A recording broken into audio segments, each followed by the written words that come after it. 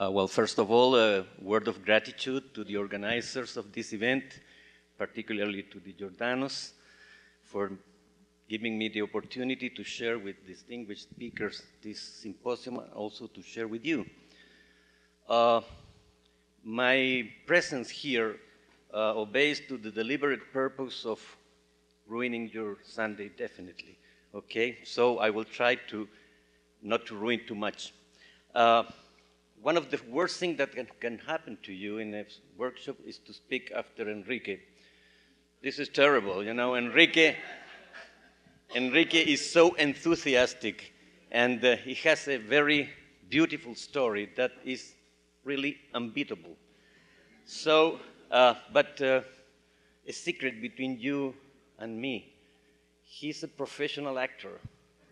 yeah, yeah, late Peter Sellers will envy him, you know, because he's, he's, really, he's really something. okay, now, uh, going into my talk, uh, as you may see by the title, this will be really an overview of the subject of uh, uh, the evolution of the uh, application of industrial of enzymes to, to industrial uh, operations. So uh, the presentation will be divided in three uh, points. The first one is to show you precisely what is the evolution of, of enzymes from traditional applications in hydrolysis to more evolved applications in synthesis, then to speak about the current applications of enzymes in industrial processes as process catalysts, and finally to give some perspectives. Okay, enzymes are proteins. Good start. The thing is that uh, by being proteins, enzymes are primary, primary gene products. It means that anything you make to a gene will reflect in a, uh, in a structure uh, change in the protein. And this is very important nowadays with the modern techniques of genetic engineering and protein engineering.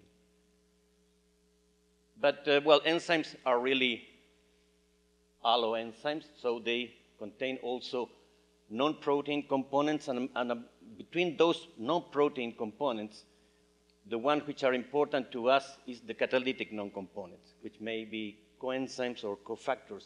And this has a profound impact on the technological application of enzymes. We can, from that perspective, divide the enzymes in, in three groups. The one which do not need of any enzyme or cofactor, so the, the, the protein is sufficient for catalyzing the reaction. There's a second group in which there is a, a tightly bound cofactor, cofactor that remains tightly bound during the, the, the reaction. This is, in most cases, not a very difficult technological problem, but there's a third group of enzymes, which are the enzymes that require of dissociable cofactors, which are called coenzymes, because in this case, the use of such enzymes is much more complicated for some reasons that we'll, will make clear uh, later on. If you see the, the traditional six families of enzymes, you will see that the only family that do not require coenzymes or cofactors in, in much cases is the case of hydrolases. So no wonder why hydrolases have been the enzymes that have been mostly used because they are more simple to use.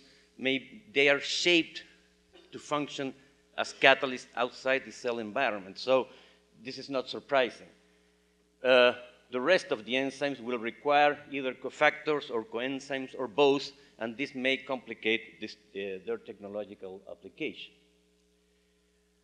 The application of enzymes for industrial purposes have suffered a dramatic change in the last, uh, let's say, 20 years from traditional uh, reactions of degradation, which involve a really modest added value, and this was done by enzymes normally in solution, catalyzing mostly hydrolytic reactions. And some immobilized enzyme catalyzing hydroly hydrolytic reaction and some isomerization reactions. But the trend moved from this kind of processes to processes of synthesis, where the potential added, uh, added value is much more significant. Problem is that the enzymes that do that kind of job, at least from a, from a physiological point of view, are enzymes which require this coenzyme. So their use as catalysts outside the cell environment uh, have to face several challenges. But there is another possibility, which is to use the enzymes that do not require these coenzymes, mostly hydrolases, but in order to use an hydrolase to produce a reaction of synthesis, you have to manipulate the environment because this enzyme is tuned to catalyze reactions of hydrolysis. But the same enzyme can do the opposite, can form that bond that in the presence of water it will break. And this uh, opens up really uh, fantastic opportunities for using traditional enzymes, but in non-traditional processes. The first type of, uh, of, uh, of uh, reaction of synthesis is illustrated, for instance, this is just an example, in the case of the production of a chiral alcohol from a prochiral keto group uh, using uh, in this, that case, some alcohol dehydrogenase, for instance. But as you can see, the production of this reaction, which is very interesting because these uh, chiral products can be intermediates of a bunch of important products for the pharmaceuticals and the fine chemicals industry. But in order to do that, you have to close the catalytic cycle. And this means that the cofactor, which is the one which is transferring the electrons in this case, has to be regenerated. So you have to face with the problem of regeneration of the cofactor, and this will mean that you will have to have, in most cases, an auxiliary reaction in which you will uh, involve a second enzyme. I think this is not pointing. No. Second enzyme and a second substrate, and your product will be contaminated with a co-product. But there are several strategies that can uh, tackle these problems. I don't have too much time to go into detail, but there are several advances in that field that are opening up the opportunities of using that, that kind of enzyme despite the complexes that they uh, present. The other strategy, which in principles looks more appealing, is the use of hydrolases. What hydrolases? The hydrolases that have been traditionally used for, well, what enzymes? The enzymes that have been traditionally used by the industry. This is proteases, lipases, and glycosidases. But now we are using this enzyme not to break the corresponding bonds, but to form them. So we can use proteases to, for the synthesis of peptides, for instance. We can use lipases for the synthesis of esters and the bunch of products. Lipases are very nice enzymes for, for doing synthesis. Uh, glycosidases for the synthesis of oligosaccharides and glycosides. And in this kind of reaction, there is much more added value involved. The thing is that when you're using hydrolases for the reaction of synthesis, you should take into consideration that maybe an aqueous medium is not enough. Maybe an aqueous medium is not enough to do that. So came into seeing the non-conventional medium. Understanding by non-conventional, non-aqueous medium, and you have a lot of alternatives maybe organic solvents have been the one which have been mostly studied, even though uh, there may be some problems with the concept of chemistry that we will scratch uh, later on. But you have some neoteric solvents like, like ionic liquids, and you can work at very high substrate concentration. And in, and in such conditions, the reaction of hydrolysis can be reverted. So there's an option of manipulating the reaction medium in order to make hydrolases do what maybe they don't want to do, but we force them to do the hard job of establishing bonds instead of breaking. Okay, that's uh, this, the, the, introduction.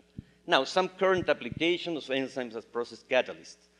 Uh, well, first of all, where, what are the, the, the presentation of enzymes uh, to the industry? Well, they have some very nice uh, properties as catalysts.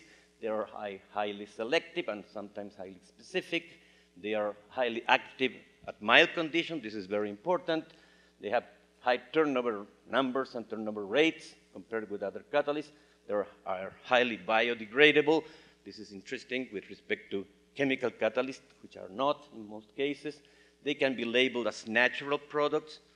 This is controversial, but in, in general terms, enzymes are considered natural entities, so they do not uh, uh, contradict the natural quality of the product which is produced by enzymes. But the, the, the thing is that as catalysts, enzymes are quite complex molecules.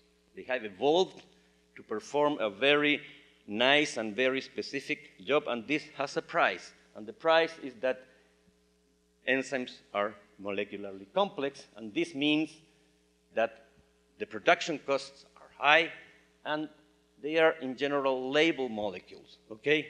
So they have a low efficiency of use. Course, we are using enzyme for a purpose which is completely different than the purpose enzymes have in nature. So we don't have to be surprised about these the things, okay? Enzymes are usually not stable enough under process operation conditions, and compared to other catalysts, there are much more uh, uh, expensive to produce. Okay. okay, enzymes a lot of applications, but I will focus only on the industrial application of enzymes. But it is important to, to point out that there are other applications which are in other fields which I, don't, I will not touch. Okay? But industrial application of enzyme will be the subject of, uh, of, my, of my talk. Okay, next please. Well, the traditional areas of industrial applications are food and feed, uh, detergents, textiles, leather, uh, and, and uh, maybe uh, one example of, uh, I would say, paradigmatic application of enzyme in industry is the case of the Staley process that you can see in the next slide. Uh, this is a process which was developed in the 60s to produce glucose syrups out of starch from corn or from other vegetable products like potatoes, for instance, in the case of some European countries. And this was nice because it was a high tonnage process which was completely enzymatic. You have a first stage of uh, liquefaction or hydrolysis with alpha amylase, followed by a saccharification step with glucoamylase to produce a high grade glucose syrup that was developed in the 60s.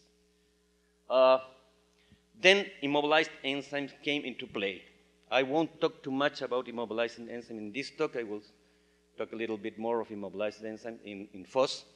Uh, but in, uh, obviously, immobilized enzyme produce kind of impact on the, on the biocatalysis because immobilized enzymes may uh, be in, increasingly more stable. They can be recoverable after use.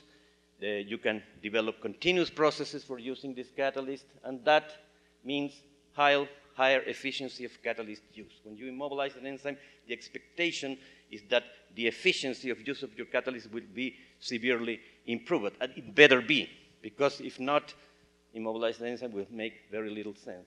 Okay. They contribute to operational flexibility. Different type of reactor can be envisaged.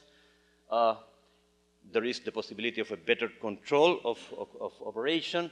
Uh, something that maybe in the academy is not very well uh, uh, appreciated is that when you use an immobilized enzyme, your product is free of catalyst.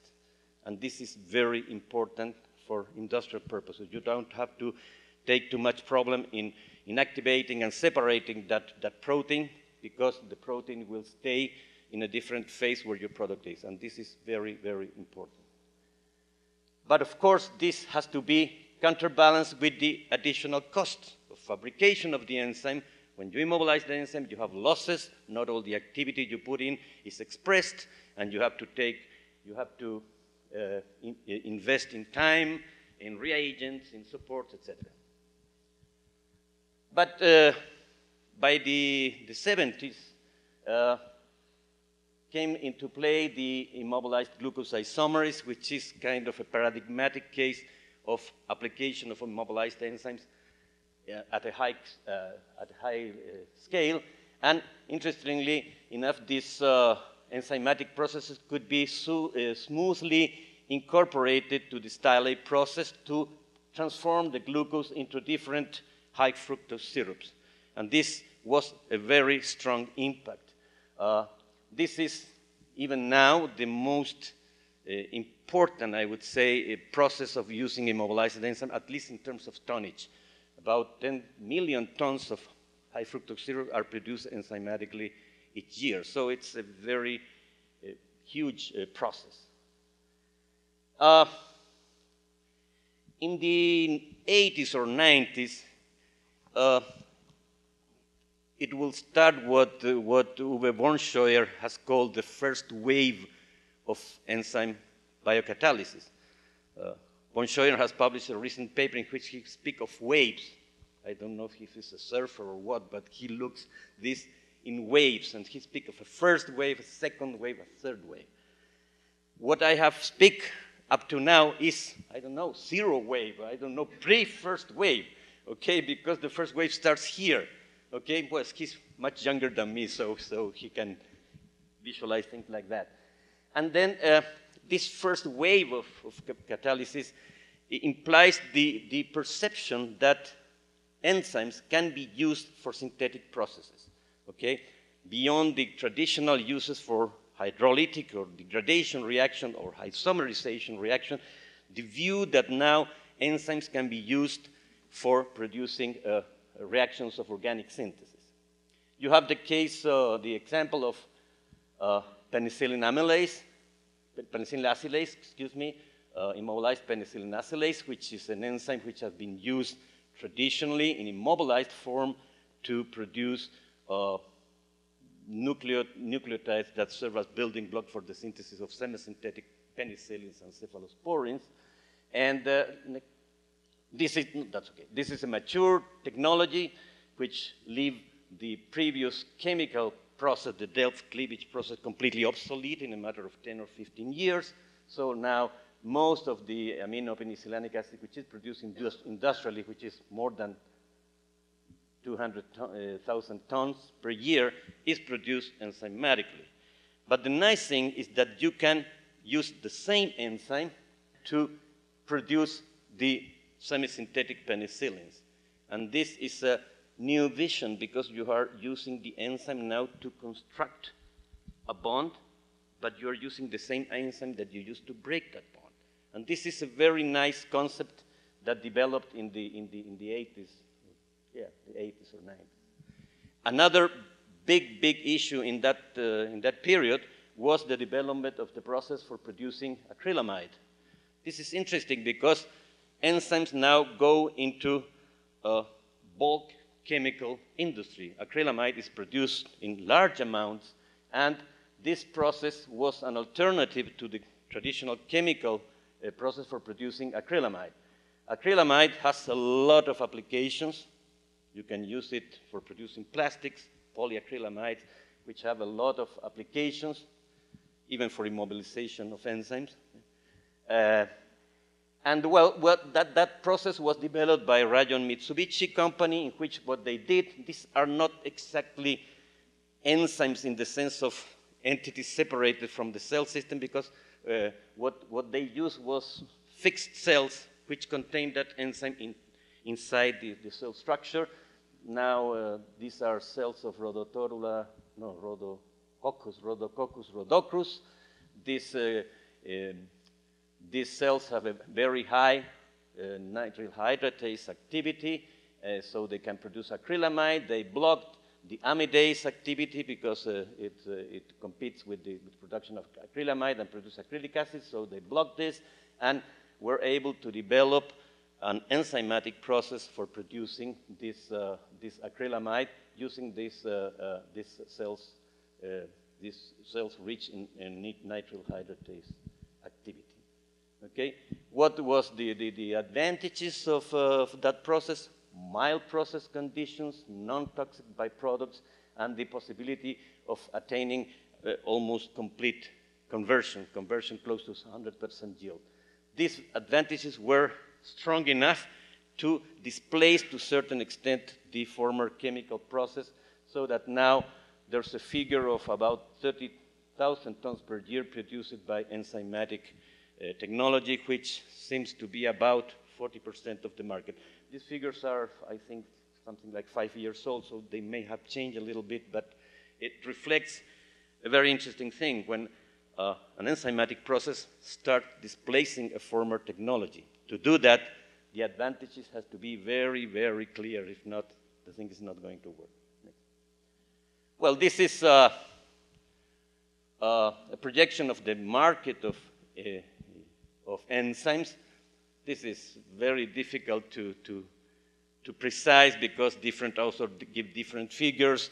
The concept of market is quite elusive. What is the market? Is China included or not? So these figures have to be taken with caution. But the, the, thing, the nice thing is the evolution. You see, you see that there is a rather exponential growth in the, in the enzyme market up to 2010 that is predicted to keep on that way for the next five years at least. From that market, this black uh, line divided what, what we consider the, the um, I would say, the, the bulk industrial enzymes from the other enzymes which are used for in more sophisticated uses. Okay? So you can see that the, the bulk use of industrial enzyme represents uh, roughly 60% or 65% of of the total. Okay, how's the, this uh, market shared? Well, uh, you can see that the, the, the division of about one third uh, for, uh, for the called technical industrial enzymes, about one third used for food and feed, and one third for more special uh, uses. Okay, that's the distribution according to the use. Another interesting point is that the, the producers of enzymes uh, are um, many, but the important enzyme producers are quite few. And you see that from the enzyme producers, almost 50% is covered by Novozymes, about one third by, by, uh, by uh, others, and 21% by DuPont, who acquired Genencor. So you can see that two, two producers uh, represent about 66%, two-thirds of the total uh, enzyme market, and this is quite uh, important. No, no, wait, wait. Uh, Novozymes is a very interesting uh, example. Uh, Novozymes is the leader, of course, in enzyme production, and the philosophy of Novozymes is to be the leader. Novozymes is always interested in leading the field. If they don't lead, they don't like it too much. They want to lead, all the time to lead. And it's interesting to, to, to take, uh, to listen what Novozymes does. Novozymes is now heavily involved in the production of biofuels, and most precisely in bioethanol, and most precisely second generation bioethanol. Listen to that because uh, these guys knows what they're doing. And you're fortunate here in Brazil because you have Novozymes 10 kilometers away in Araraquara. This is the central headquarters of Novozymes for Latin America. Mm -hmm. Okay, next one. Okay, some perspectives. This is the situation more or less today. What are the perspectives? Okay, I, I quote Willy Brandt, best way to predict the future is to shape it. I think this coin a little bit of what I want to say.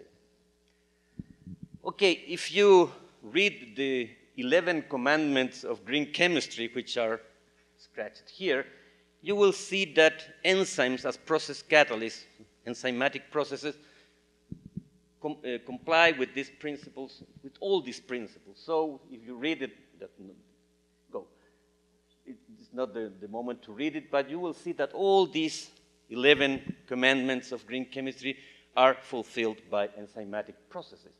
And this is very nice. This is a very good news because it opens the enzymes an unpredicted perspective in the, in the, in the near future. Okay, so I will uh, focus mostly in one of these two things, which in my opinion are things that are going to lead the development of enzyme biocatalysis in the near future. One is the use of enzymes in organic synthesis, in reactions of organic synthesis, and the other is the use of enzymes in biofuel production. Next one, please. Next one. Enzymes in organic synthesis, mainly for pharmaceuticals and fine chemicals. Look, that uh, if you put general figures, you will see that the biotechnology market is really a very small share of the chemistry market. But the, the, the, nice thing is that maybe in a reasonably optimistic projection, the biotechnology market by the year 2020 will be a more significant share of this market. So the opportunities for bioprocesses are really important uh, for the next 10 years or so. When uh, the enzymes knock the door of uh, this, the industry of organic synthesis, they were rather reluctant to open that door. Uh, enzymes uh, as catalysts for organic synthesis were considered too expensive. They were considered that only act on natural substrates, and the synthetic uh, industry worked normally with non-natural uh, substrate. They were considered only efficient on their natural habitat, which is aqueous. They are considered labile and prone to inhibition, which is something that chemists are not always uh, trained to work with, uh, product inhibition. Okay, so this, this, this was the, the, the problems that enzymes were facing to penetrate in the organic industry. Some of these have been changed, I would say, significantly during the last 10 or 20 years. Because you see, as catalysts for organic synthesis, enzymes are highly specific, sometimes highly selective. They are highly efficient. They are highly active under mild conditions, which is interesting for some applications in the fine chemicals and pharmaceutical industry. They are quite versatile, which opposes to a certain extent to being highly selective, but you have heard the, the, the, the idea of uh, enzyme promiscuity, which is very interesting concept. So they are quite versatile. They are environmentally acceptable or friendly. So this open up a lot of opportunities for enzymes in, in, in, in the, the production of, of, uh, of orga organic synthesis, in the, the, in the process of organic synthesis. Well, they can compete with chemical processes by reducing steps because they are more precise in, in their chemio, regio, and enantio selectivity. They can compete with chemical processes by producing enantiomerically pure compounds, which is the main issue for the pharmaceutical uh, production of chiral compounds. Uh, they can be uh, they can compete with chemical processes in terms of environmental impact, which is a very important issue right now. Uh, they can be rather easily integrated with chemical steps, so you can make hybrid processes in which one steps are catalyzed by enzymes, and other are catalyzed by conventional organic chemistry. And uh, a very important issue is that you can use robust, commercially available hydrolases to perform synthesis. This is a very nice uh, characteristic. So I will illustrate all of these opportunities with just one example taken from scratch, just one com compete with chemical processes by reduction the number of steps. Well, maybe a good example to illustrate this is the synthesis, the enzymatic synthesis of aspartame. Aspartame, as you know, is a leading uh, non-caloric sweetener, which is now produced to a significant extent with, with, a, with an enzyme conversion, which has the, the nice thing that the, the, the, the enzymatic system can allow to be more precise, so it will produce the exact configuration of this dipeptide. There are four possible isomers, which come from two regioisomers of aspartic acid and two enantiomers of, phenyl, uh, of phenylalanine, but the enzyme will choose the, the right, uh, uh, the, the, right uh, isomers to produce then the, the product. So this has been a very nice example of the application of enzymes in the, in the, in the fine chemicals industry. Well, compete with chemical processes by, by pro producing an enantiomerically pure compound. This is a very critical issue for the pharmaceutical company. You have heard of the, the sad story about thalidomide, where uh, the, uh, the drug was sold as a racemate, and one of the enantiomers the, the, uh, was uh, the, the, one that produced the expected effect, but the other one was the teratogen. This is a very dramatic example, but illustrate the point that when you're producing chiral compounds, the uh, enantiomeric purity of the product is really something very appreciated. This is not so dramatic example. For example, the production of ibuprofen, uh, which also is a, is a, is a chiral compound in which the, the S form produces the desired effect. This is the eutomer, and the, the, the distomer is, in this case, is inactive. So the problem is not so critical, but it means that if you produce it by, by, by chemistry, you will end up with a racemic mixture. You have a, if you have an enzyme which is enantioselective, you will produce the pure uh, uh, active form. And there are technologies to, to, to produce. This is an example of a technology developed for the production of pure S-ibuprofen, starting from a racemic uh, ester in which the enzyme is, is, really a lipase, which is acting as an hydrolase and is selectively hydrolyzing this ester so that only the, the, the eutomer is hydrolyzed and the, the distomer is, uh, is not hydrolyzed, so it is racemized and recycled. So at the end, you will end up with a pure product with a very nice enantiomeric excess of 93% or more. These are other examples of, uh, of that point, the production by Evonik Degussa of uh, tert-leucine. This is a chiral compound in which you do a reductive amination with a, an enantioselective enzyme.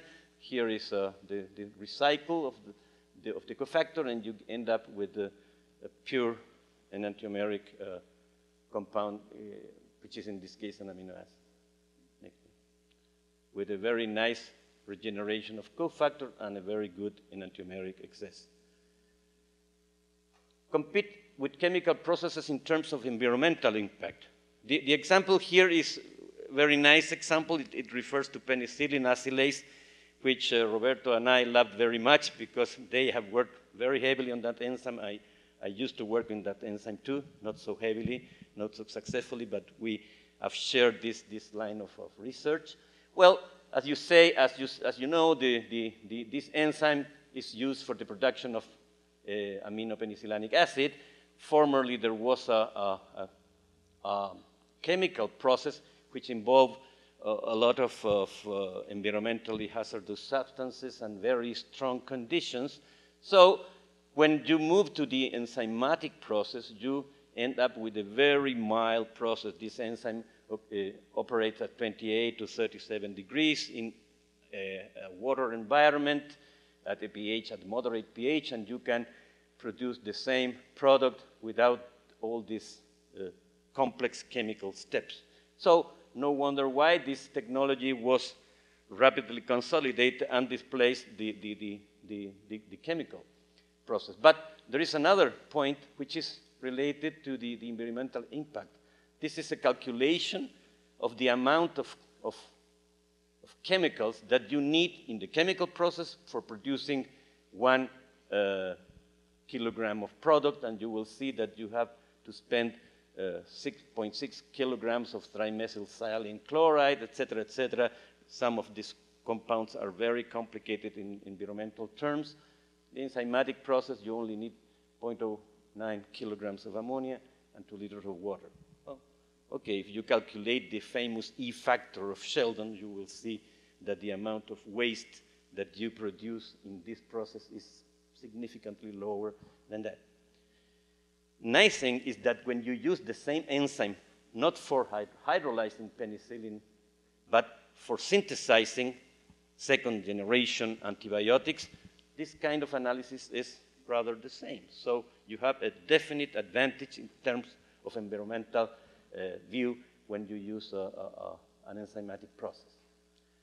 Well, enzymatic process, as I said, can be integrated with chemical steps rather easily, and we have several, several examples of that. Here is one that I already showed, in the case of ibuprofen, the same for naproxen, in which there is a previous chemical synthesis, but the enzymes is used in this case to uh, separate the, the, the, the eutomer uh, from the distomer.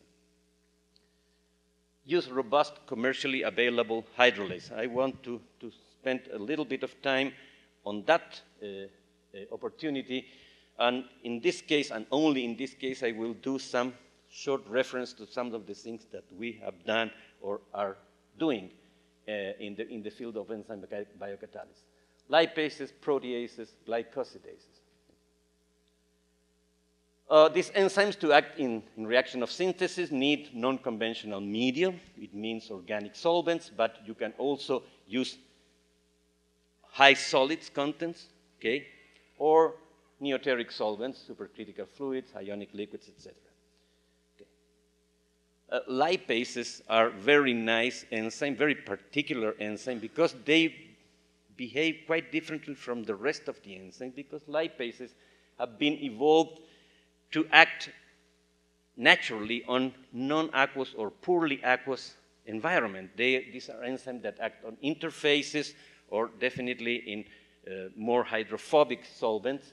And the most, uh, no, not most, but many lipases have this particular configuration in which they have uh, two alternative configuration. One, which is the closed configuration, in which a polypeptide change closes the active site, and another open configuration in which this polypeptide change opens and leaves the active site uh, uh, available for, for the reaction.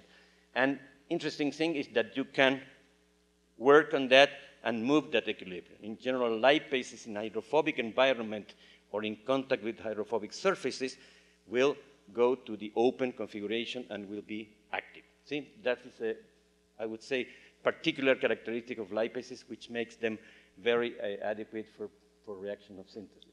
With lipases, which are enzymes that normally hydrolyzes uh, ester bonds in, in, in, lipid materials, can be used for esterification, transesterification, interesterification. Uh, sometime, some years ago, we were uh, involved in a process in which we were looking for selective transesterification with lipase. Next one. What, what we were, were after uh, was a process which was uh, connected with uh, one of the main uh, producers of paper and pulp in Chile, according to the Kraft process. In the Kraft process, produce very contaminated residues, but this, which is a chemical company, has very nice technologies for fractionation, so they produce different products from the different fractions coming from the, from the, the black liquor of the Kraft. and one of these fractions is called uh, uh, wood sterols, which is really a mixture of sterols, which has double bond here, and stanols, which is the, uh, uh the, the, the, the, molecule which does not have this, this double bond. And uh, what we were looking was uh, an enzyme which can discriminate these two structures, okay? So act upon one of those and not on the other. Uh, particularly, we were interested in an enzyme which will be able to sterify the stanol fraction without uh, sterifying the sterol fraction. Why? Because if you do if you do that, we can separate these products. These products are so similar chemically that you cannot fractionate or uh, use uh, chemical steps to separate them.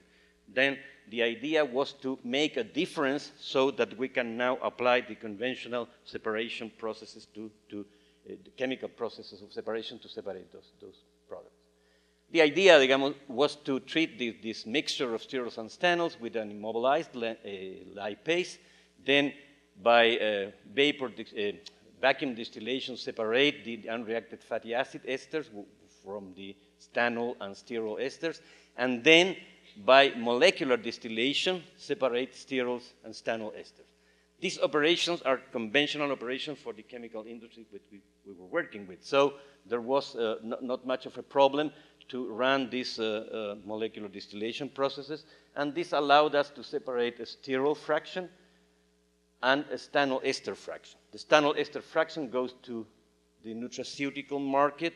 The sterol fraction hopefully goes to the market for steroidal drugs. This is what we obtain. Actually, the, the, what the enzyme does is a rather kinetic resolution. Really, the enzyme can sterify both products, but it makes it at completely different rates. So you can essentially esterified most of the stanol fraction with a very little esterification of the sterol fraction, and that was the idea. Okay, the idea was to be able to obtain conditions in which we can do that separation. This was optimized. We produced catalysts to do that. Uh, we use also uh, commercial catalysts, and uh, we end up with, with an enzyme from Alcaligenes, which was the only one in the screening of more than 20 commercial lipases that really worked uh, in, in, this, in the selection of this uh, reaction of esterification. This is a semi-happy story. Uh, it, it was successful in a sense and unfortunately not so successful in another, but it was a problem of, of, of selling the, the, the, the, technology because this was sold quite nicely, but we have problems, the company has problem trying to, to sell that, that the idea of, you, of replacing uh, soya uh, sterols for this kind of sterols, even though the product we were producing is much nicer than the sterols from soy. So the, there was some kind of, of, of industrial problem that in, in, in what, what, what, what the, the, final story was that the, this company opted for a, complete sterification, not specific esterification. they esterified the whole thing, so they produce a mixture of stanol and sterol esters to sell it as nutraceutical. This, is this process is, uh, is going on, but this is not so interesting from our point of view because the nice thing is the selectivity of the reaction. And now you can do that with any, no, not with any, but with many lipases. You can do esterification which is not selective, but you have a very high yield of esterification, and you can formulate this, uh, this nutraceutical. Well, penicillin acylase, as I said, is a very nice enzyme. We have worked with it. Uh, this is not relevant. Uh, you say this is the enzyme that produces 6-aminopenicillinic acid by hydrolysis, but you can use it to produce uh, uh, derived penicillins or cephalosporins. In this case, actually the enzyme, when, when doing synthesis, works better on amino cephalosporanic acid rather than aminopenicillinic acid, which gives you the opportunity of producing uh, derived cephalosporins, which are much interesting in terms of, from a pharmaceutical point of view. And you use this enzyme not to break the bond, but to create the bond and produce then the, the, the antibiotic. This is actually a kinetically controlled reaction because you use the acyl donor, you use the, the uh, activated acyl donor. So you break the, the, the, thermodynamics of the reaction and you produce a kinetically controlled reaction, which has the benefit that you can obtain conversions higher than the equilibrium and you can obtain that higher concentration in a shorter time. Problem is that you have to be careful not to continue beyond that because hydrolysis will take over. So it's a rather more sophisticated process, but you can uh, get very nice uh, advantage. Okay, we, we, we, worked for several years, uh, as well as the Giordanos in that time, in that, uh, in that uh, we use uh, organic medium co-solvents. We tested a lot of co-solvents. Ethylene glycol was a very nice co-solvent. Uh, we can get higher conversions and uh, avoid the, the, the impact of hydrolysis by using this uh, ethylene glycol medium. But this was done when we were using rather moderate substrate concentrations. Okay, this is 90 millimolar uh, phenylglycine, for instance. The, the nice thing, next one, is that when you go to very much higher substrate concentration, the hydrolytic potential gets diminished. So in reality, you don't need the co-solvent with, with the problems associated in terms of cost and environment, and environment you can avoid the, the use of this co-solvent by working at very high substrate concentration, and you can work at very high substrate concentrations. We went up to Uh, concentration as high as 600 millimolar phenylglycine methyl ester, and you can see that if you compare the, the, the, the aqueous medium with the co-solvent medium, you will see that the differences are quite slight. The, the conversion yield is a little bit lower, but the productivity is much higher. So the, the, the, the, final conclusion is that you can work in a completely aqueous environment, which is environmentally sound, and produce uh, uh, the, the, product of synthesis at comparable conditions when using a, a, a, an organic medium. The other benefit of working in, in aqueous medium is that the uh, stability is much more higher, it's much higher, you see. Uh, you can see here, if you compare, for instance, these two values, the, the half-life time of the, the, the, the, enzyme in aqueous medium is 200, 2,480 hours compared to a little bit more than 800 hours for the, for the enzyme in the, in the co-solvent medium. Glycosidases. We have been involved for the last, I would say, six years in, in a project which is aimed to exploit the possibilities of using glycosidase, but to produce uh, uh, oligosaccharides. And we have been uh, we have been working with uh, uh, prebiotic substances derived from lactose by using beta-galactosidase, a very well-known enzyme which is used routinely by the food industry for the production of low, low lactose milk and, and, and, milk products and dairies. But the idea here is to use the enzyme not to hydrolyze lactose, but to produce uh, oligosaccharides derived from lactose. And among these uh, uh, oligosaccharides derived from lactose, you have the galacto-oligosaccharides, lactulose, and more recently we are working on fructosyl galacto-oligosaccharides, which we say simply FGOS. Well, prebiotics, I imagine that you're familiar with the concept. Prebiotics are selectively fermented ingredients that uh, allow changes in composition and activity of the gastrointestinal microbiota, conferring benefits upon well-being, health and well-being. That's the definition of a prebiotic. Let's say that the prebiotic is a chemical molecule that stimulates the beneficial microbiota while depressing the bad uh, microbiota. That's, that's the, the idea of, of, a prebiotic. And you have several oligosaccharides uh, that uh, fulfill the requirement to be con considered as prebiotics. I put here, I would say, the five, the five or six that are proven uh, unambiguously that they have prebiotic uh, capacity. And uh, if you see, this is a rather old uh, uh, paper published by one of the leading groups in that field, which is the, the work of um, the group of Gibson and Rycroft in uh, University of uh, Reading in, in, England. And they, you have to, two more. Okay. No, no. okay. If you see this uh, pre prebiotic index, which is a measurement of the possible prebiotic uh, activity, uh, you see that uh, lactulose, which is here, and, and galacto-oligosaccharides are in a very good position if compared with other prebiotics that are more uh, routinely used in the, in, the, in the food industry, like inulin, for instance. Okay, next one.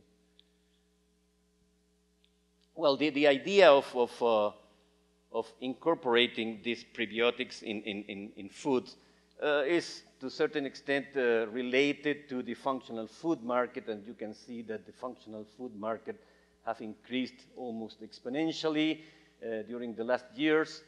To, to, just to mention the, the market in Japan, oligosaccharides for prebiotic action amounts about 70,000 tons per year, from which oligosaccharides represent a little bit more than 10, 15% of that figure. So this is, this is not merely uh, a mode. It's, it's, something that uh, apparently reflects the impact uh, of the modern habits of, of, of, uh, of, uh, of eating that people have. So uh, this maybe will uh, last for a long time, and the, the idea of this, uh, the, the market opportunity for these functional foods is going to be there for, for some time. So it is it's not just a wave. it's, it's more than a wave. Uh, well, these are, these are the, the, the galacto-oligosaccharides, lactulose and, and fructogalacto-oligosaccharides. This is a, is a, is a kinetically controlled process in which lactose acts both as donor and acceptor. So the enzyme first uh, separates the glucose from the lactose, and the enzyme galactose complex can be then uh, react with another molecule of lactose, and then you are forming the, the galacto-oligosaccharide, GOS3, GOS4, and so on. But this reaction always will be competing with the reaction of hydrolysis, okay?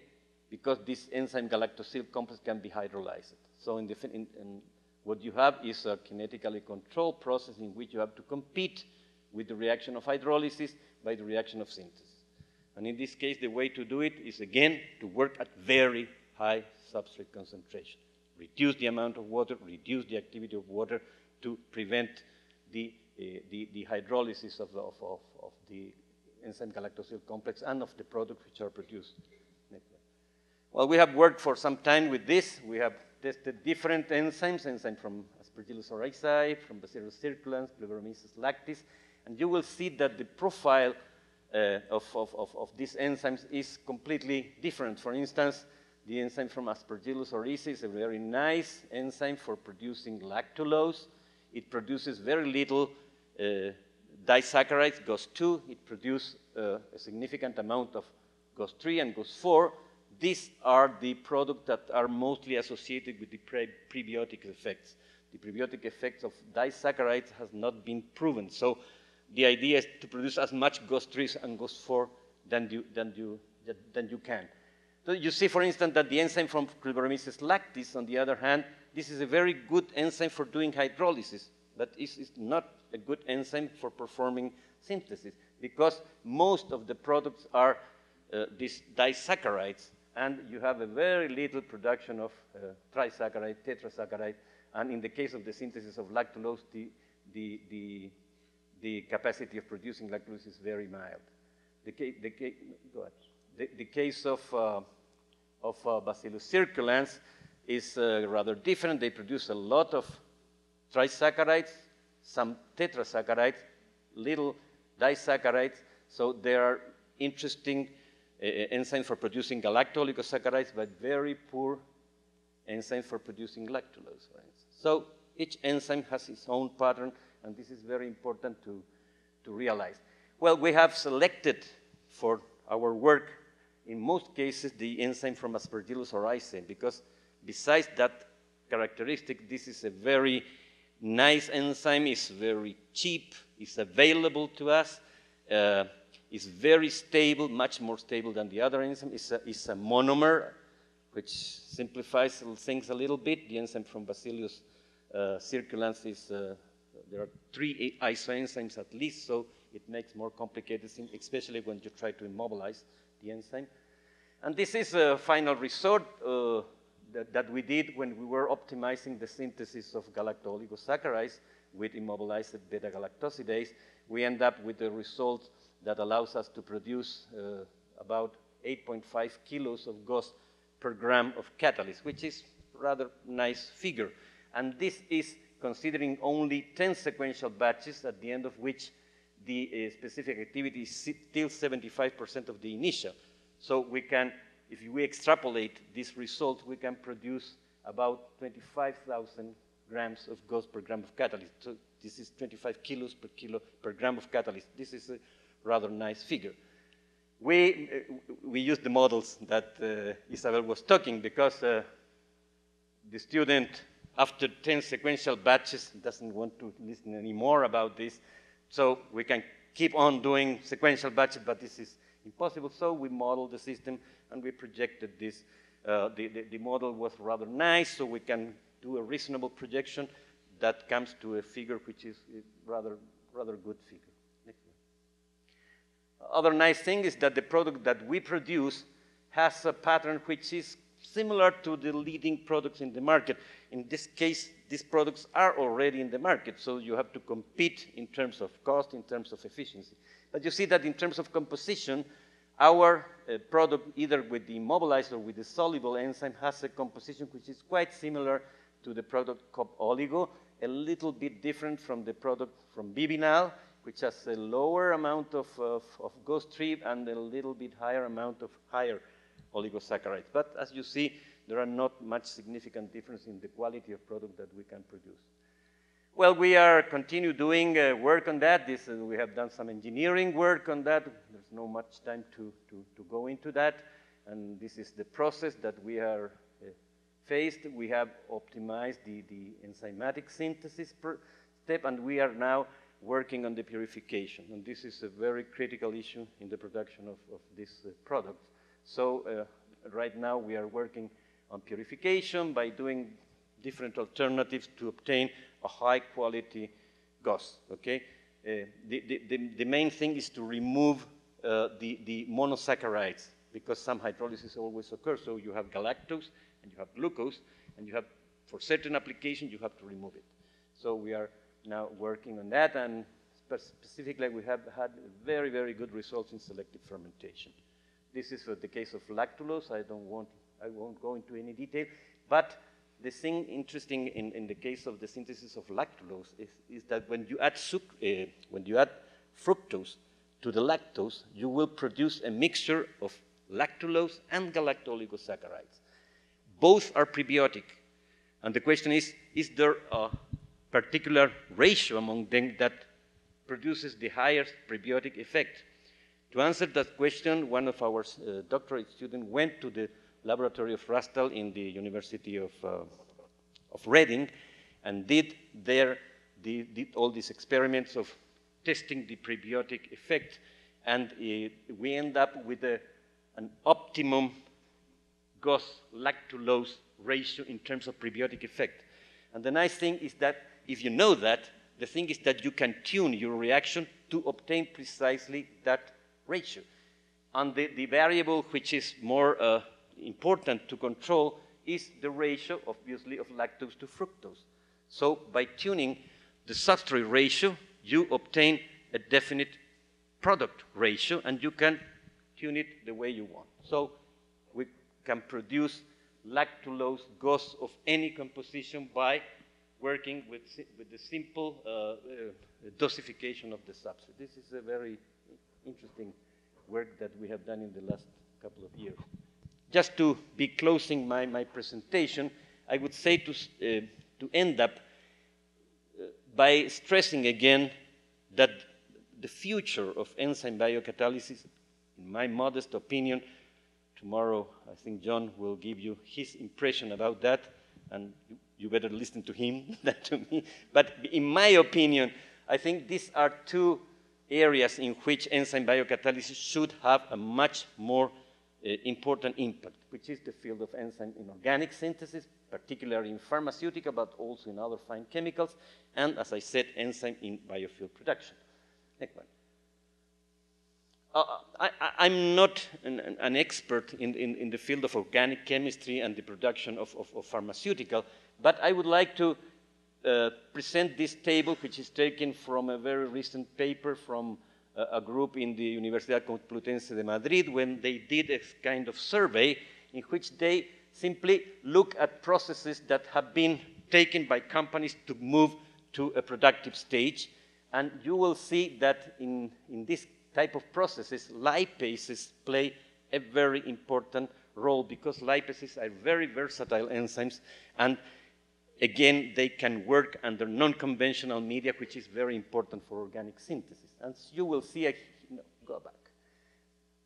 Go back. Yeah. You will see that there are a lot of products which are considering enzymes at least in one of the steps of production.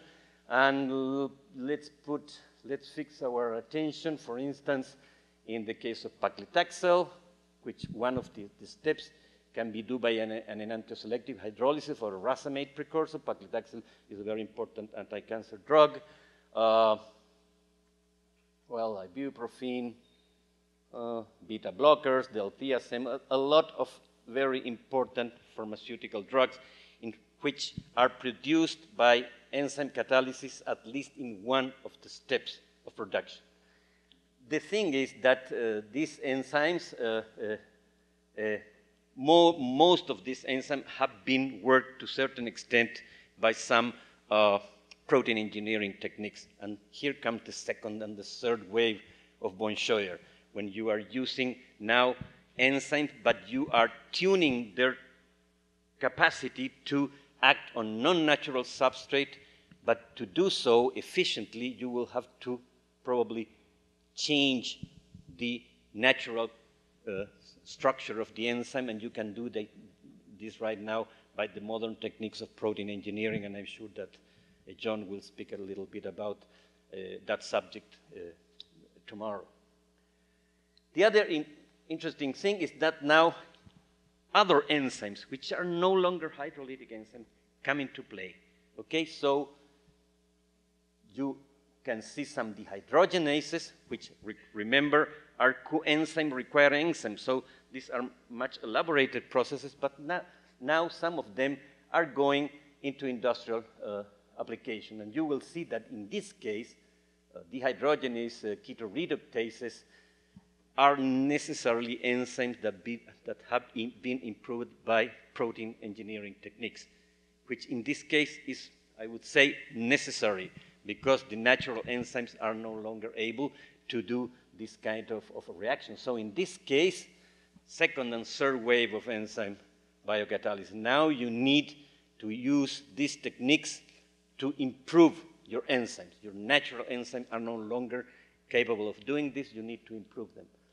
And you will see that here there are very, very important uh, uh, pharmaceutical products, like the case of Montelukast. Montelukast is a drug uh, which is used for, for asthma.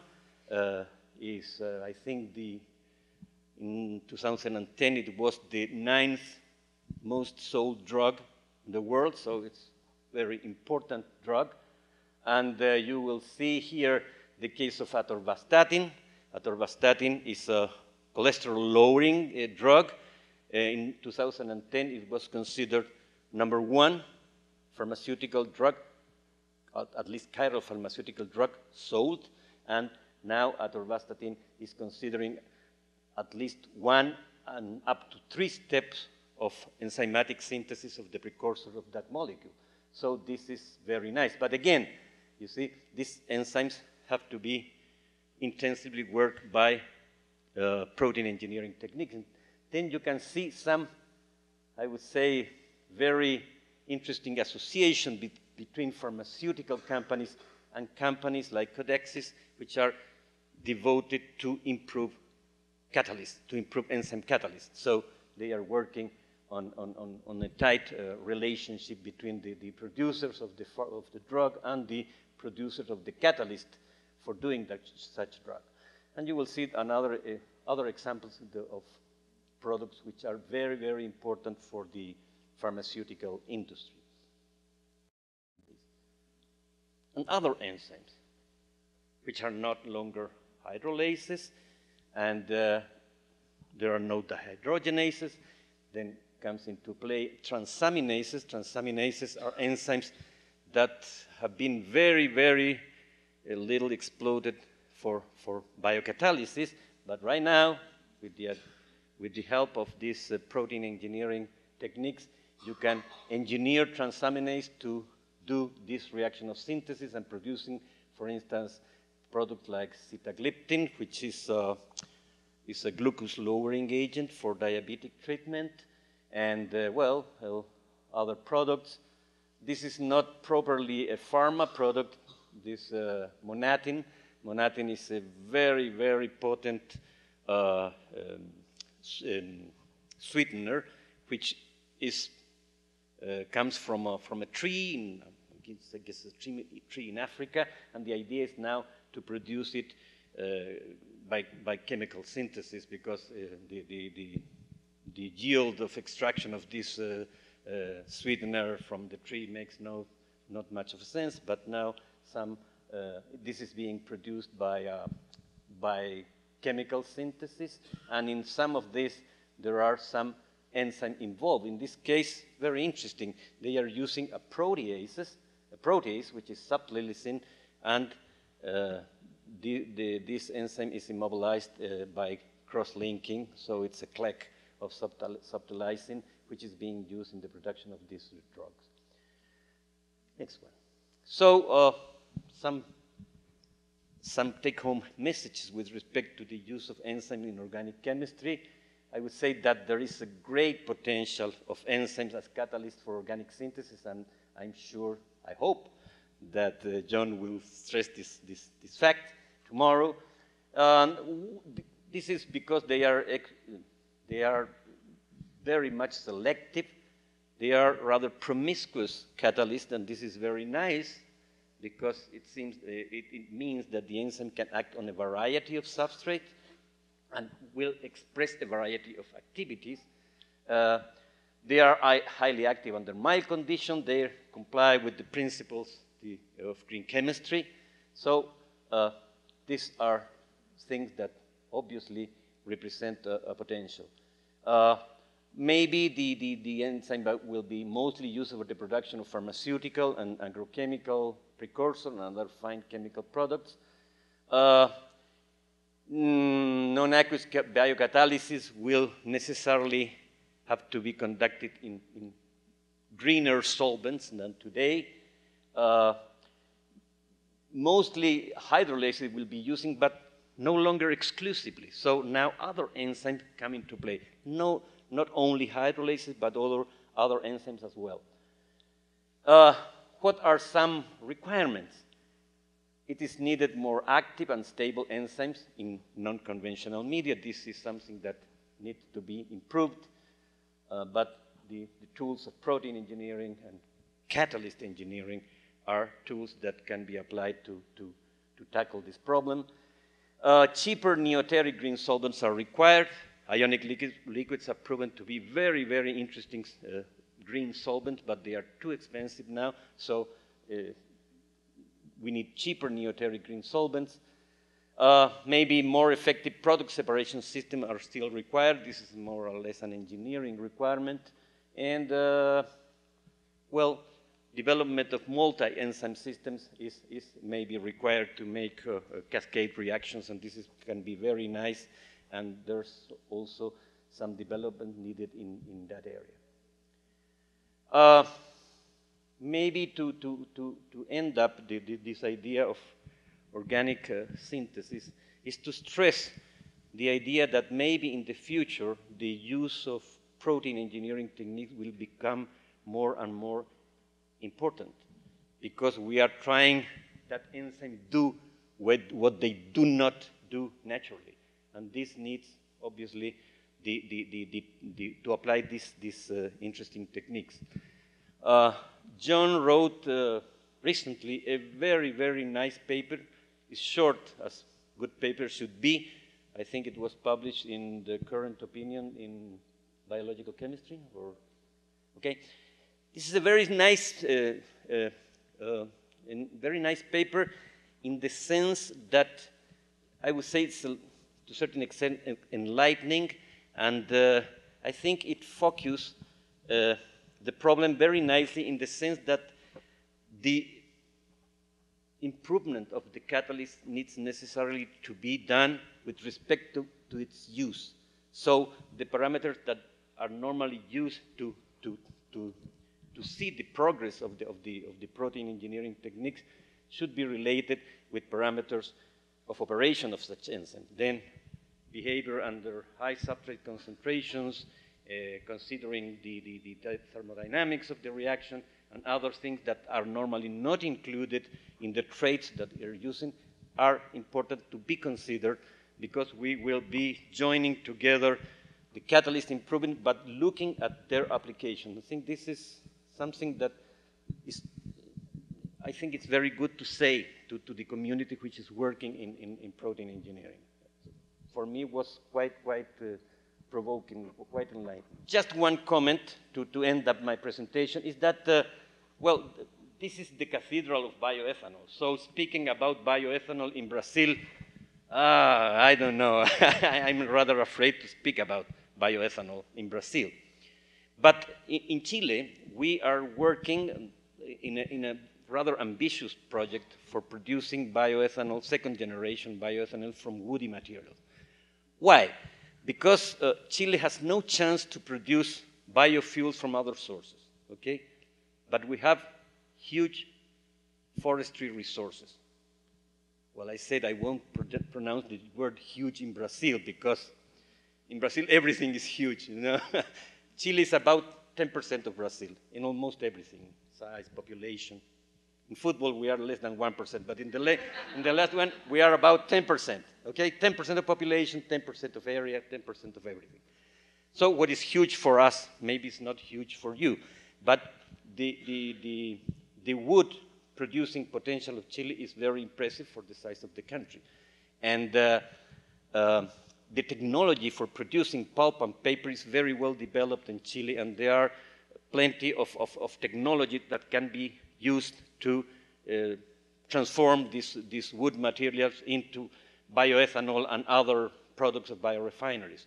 So we have been working for about three years, four years now in a process for producing uh, bioethanol from woody materials, and we have studied all the, the, the technical operation, pretreatment, enzymatic hydrolysis and fermentation, uh, distillation a little bit, but also we have done some modeling to, to, to evaluate the process, to do some economic calculation, and to do some life cycle analysis of the alternatives we are managing right now. Uh, maybe we will finish this first step of the process in about two years, in which we will have a demonstration plant for producing ethanol according to the process we have developed. Uh, we already produced the first two liters of bioethanol from wood in Chile. So, and I have a bottle of 100 milliliters in my office. I am in charge in the, in the hydrolysis uh, step of, of the process. Uh, we have been lucky enough to sign an agreement with Novozymes, your neighbors here in Araraquara, to use very good enzyme. So the hydrolysis step is very nicely taken. We are working uh, with uh, with pulps uh, of 20%, and we go, can go up to 25% solids. So what was talking Jonathan is true, but you can do it if you had good enzymes. And uh, what, what happens is that you start with a paste. You cannot agitate, you have to use a, a mixer of, of, of dough. To, to, but after one or two hours, this is completely liquefied, so you can work as a conventional reactor. But you need good enzymes to do that. So the hydrolytic step has been very rewarding because we are working with very nice enzymes from uh, Novozymes, but also from, from DuPont, from Genencor. They have very good catalyst now.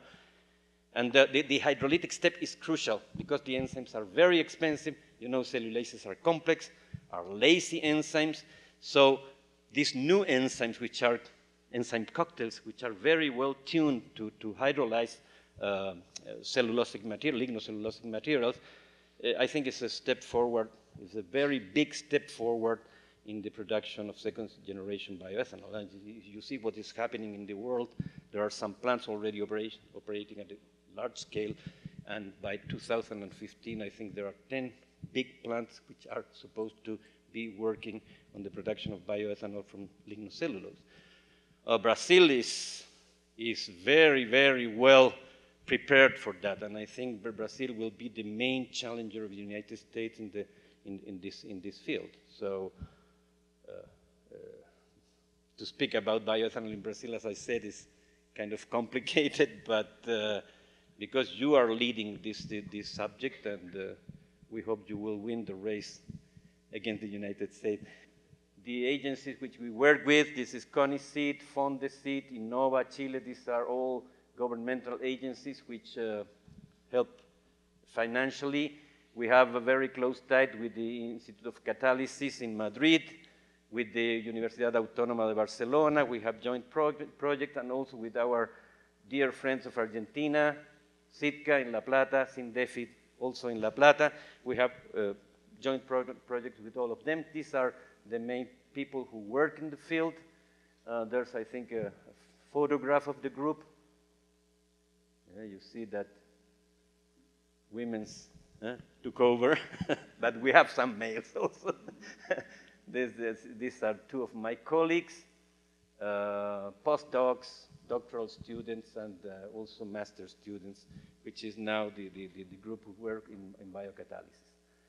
Okay, this is the front of our school. Some of you know, Isabel, Enrique. Uh, and this is something interesting. This is what we call Núcleo de Biotecnología. This is a center of biotechnology of our university. It has two blocks. It's supposed to go to four blocks. And this is a very nice uh, idea because this is a center which takes our results and project it to the, to the productive sector. So it's a linkage between academia and the productive sector, and they are very active, and they help us a lot because, as Enrique pointed out, professors are not very good for doing business, so we have people who know li very little about science, but they are very good in doing business, so this is a very nice uh, relationship that we have with the Núcleo of biotechnology. Well, this is diversity in my country. Thank you very much for your attention and my excuse. Just from my other experience in mixing, how do you plan to solve the mixing of the 25% solids at the industrial scale? We have, haven't done much engineering on the problem, but we have designed a hybrid, hybrid agitator in which you have a spiral mixer for solids. Yeah, and you have a conventional stirrer and you can operate them separately. So during the first two hours, you uh, mix this mass, and then when it liquefies, you use a conventional agitation system. The, the, thing is that we are doing two different uh, process strategies. We, one is uh, sequential saccharification and fermentation, and the other is simultaneous saccharification and fermentation. And in the simultaneous saccharification and fermentation, what we do is that the first step of liquefaction and a little bit of saccharification, we did it under one conditions in one reactor and then moved to a second reactor when fermentation occurs, but also uh, um, cellulose keeps on being hydrolyzed by the enzymes, you see. But uh, there's much engineering that we have to put in that, in that system. But, but that's the general idea. We have done this at laboratory scale, and uh, we will move to a pre-pilot stage when we will see how to deal with the, the problem of, of, mixing. But the system mixed very well, okay? Mixed very well in the sense that you can take samples and they are homogeneous in, in composition. So the mixing is good. The mixing is, seems not to be a problem. The other thing is the energy you're putting in your, in, in your mixing system but as, as, I said, we are doing in parallel all the economic analysis and the life cycle analysis and all things like that because this is fundamental. So the, the economics of the thing is being also considered because, yeah, the, this expenditure of energy may be uh, high, but it's for a very short time. That's, that's very nice because the hydrolysis took, can take 20 hours. But in two hours, you have completely liquefied your system as long as you have good enzymes. in, in a dose which is not very high, and you can, you can manage the, the, the, the system. But yeah, we will find when we scale up this, maybe we will move to a, a different reactor configuration. Your opinion is very valuable. Maybe we will go to a rotary drum or I don't know, other, other type of, of reactor when we move to a higher scale. This is also being studied, not for my group, but this is also being studied I would like to know what means uh, not very high enzyme concentration to have uh, liquefaction, full liquefaction in just uh, one or two hours? Uh, I don't have the figures in, in my mind, but I can tell you that we have reduced the enzyme to solid concentration significantly from the first generation of enzyme to third generation of enzyme. We start working with the NS uh, series of Novozymes. I don't know if you're well aware with that. Maybe you are.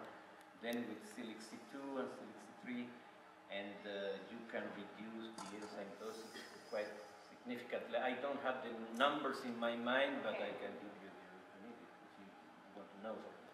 There are not surprising uh, figures for an enzyme process. You see, you always put, let's say, one gram of enzyme per 100 grams or more of, of, of solids in this case. So it's, it's, it's not different from the dosage that you may have in other similar process like starch liquefaction. or something. And what kind of treatment do you have done? In Pre-treatment, you mean? Yes. Well, we are working with three different pre-treatments. One is the organosolv, which we are not longer used. The other is uh, steam explosion that for economical reasons we will not use. And the other is uh, autohydrolysis, uh, soft uh, acid hydrolysis, which according to our results and our calculation is the best uh, system of pretreatment. Uh, we are also using, uh, besides wood chips, which are pretreated, we are also using uh, cellulose refuse from the big uh, uh, paper and pulp uh, producing uh, companies. The nice thing about that is that this project is a consortium in which the, the, the, the academics are working together with the, the, these main uh, pulp and paper industries in Chile. So we have access to all their products. They are working with us in this, uh, in this, in this project. And uh, an idea that uh, we, don't, we didn't have at the beginning, but now is taking, uh, taking strength, is to use the refuse. I mean, the, the, the fineness of cellulose that cannot be used for producing paper Okay. is fantastic because it's almost pure cellulose. It means it is a, it, Yeah. Very, very little lignin, very little hemicellulose. So it's, let's say, 95 or 90% cellulose. And this is first class food for, for the system. and the other thing is that they will say, but well, this is not very important in terms of quantity. The amounts that are produced are really, really, really big. So you are solving a problem of, of waste and producing an output. Uh, which for the time being is ethanol, but can be other products by refineries. So maybe it will make more sense for producing things different than bioethanol. But this is a this is a next step. This is this is next step. Yeah, but these are very big quantities that are produced, uh, and uh, they are very nice. The, the only problem is that they have a little bit high content of acetic acid. So the problem is the guys who work in fermentation because the, the, the, the acetic acid is, is rather a problem. We are working now with some strains that are much more resistant to acetic acid. So as long as we can use these strains for producing ethanol, the problem will not be so important. But, uh, but yes, the acetic acid is a problem. When you use uh, wood, when you pre-treat the wood, you have other compounds that make noise. And the- you have to, to take care of that. This, uh, the people, the fermentation group deals with that, with that problem. Makes nothing to the enzymes. Uh, the enzymes are resistant. You put whatever and the enzymes work perfectly. The problem is when, you, when we deliver our syrup to the fermentation. They have some problems that are trying to be solved by both better strains and also some operational tricks to try to avoid the, the impact. But I'm not expert in the fermentation stage, so I cannot say you too much about that. Okay, thank you. Okay, thank you.